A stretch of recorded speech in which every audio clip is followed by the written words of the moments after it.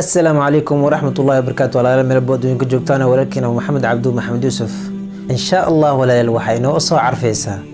Ciidulfitri ayaa inoo soo carfaysa. Alxamdulilah ilaahana mahad iskale oona soo gaarsiiyey ciidulfitri oo soonkeena nabad inoogu dhameeyey. Alxamdu lilaah waxaan rajaynaynaa maalin ama laba maalin kadib inaan ciidi doonno oo waxaan rajaynaynaa ciiddu inay noqonayso sabtida ama axadda. Saa daraaddeed maadaama ay ku sugan nahay xaafadaha iyo guryaha lagu sugan yahay goobihii lagu dukan jirayna aan la aadi karin xilligan hadda aynu ku jirno hay salaada ciidda sideen u dukanaynaa maxaana nalaga rabaa? Salaada ka hor maxaan sameynaynaa kow waxaad samaynaysaa inaad soo qabaysatid markaad soo qabaysatid kadibna waxaad samaynaysaa dhar alaa dharkay kugu quruxsan aada haysatid ayaad ku labisanaysaa. Kadibna waxaad samaynaysaa barfuun iyo cadar ayaad isku carfinaysaa. Kadibna waxaad samaynaysaa intaan la dukanin ka hor cunto ayaad cunaysaa. Nabiga ka sugnaatay sal alla caleyhi wasalam timir ayaad cunaysaa saddex ilaa toddoba ayaad cunaysaa. Haddii aad timirtii waasidna wixii aad heli kartid ayaad cunaysaa. Kadibna takbiirtii aad bilaabaysaa inaad akhrisid in kor loo qaado takbiirtii haddii aad keligaaga tahay keliga aad akhrinaysaa haddii aad family reer layahayna reerka ayaa wada akhrinaayo oo takbiirtii kor ayaa loo qaadayaa. Takbiirtaasina waa la wadayaa ilaa laga gaaro xilliga salaada ama midkiin markuu istaago inuu idin dejiyo salaada ciidda. Ayay takbiirtu ku eg tahay. Salaada ciiddana aadaan iyo aqmid midna ma lahan. Ma loo aadaamaayo mana loo aqimaayo. Sababtoo ah waaba diyaar salaadii ayaa la isku diyaargaray maalinkaasi oo aadaan iyo aqimid lama sugaayo. Kadibna waxaa la sameynayaa walaalayaal sidee loo dukanayaa? Walaalayaal salaada ciidda waa labo rakac labo rakacdood waaye. Rakacda koowaad waxaa la sameynayaa walaalayaal allahu akbar markaa salaada xiratid waa takbiiratul ixraamkae taa ma xisaabinaysid. Kadibna waxaad samaynaysaa toddoba jeer ayaa waxaad leedahay allaahu akbar waad ku celinaysaa waad ku celinaysaa waad ku celinaysaa.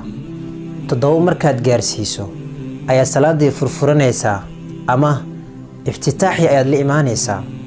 Kadibna faatixa ayaad akhrinaysaa. Kadibna suurado ayaad ku xijinaysaa.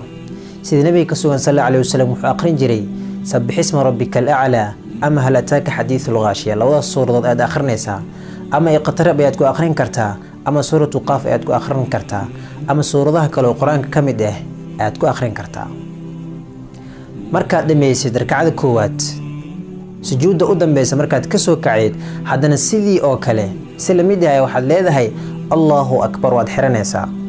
Waa kow ma xisaabinaysid.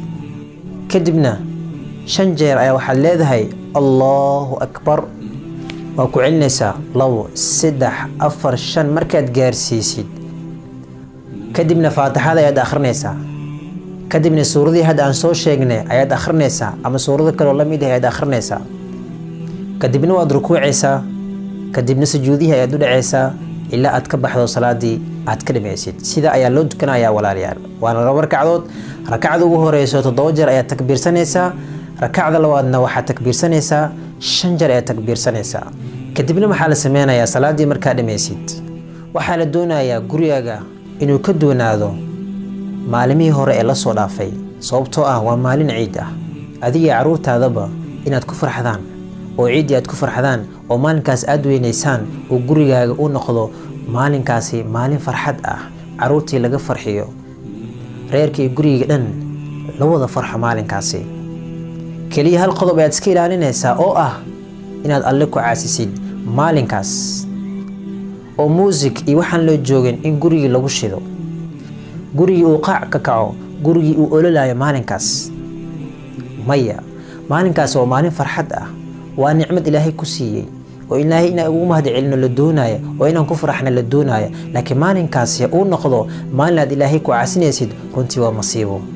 Saa daraaddeed marka walaal waxaa la doonayaa maalinkaasi inaynano ahaato maalin aan ilaahay ugu dhowaanayno marka ha noqonin ruux bisha ramadaanaan soo soomaaya haddana maalinka u dambaysana ku faracsan inuu ilaahay ku caasiyo. Ha sameyn intaas. Saadaada marka waxaan la doonayaa inaan sidaa u dukano ilaahay hanaga dhigo kuwa soonkooda iyo salaadooda iyo rukuucdooda laga aqbalay. Hada wabilaahi towfiiq wasala allahu calaa nabiyina muxamedin wacalaa aalihi wasaxbihi wasalam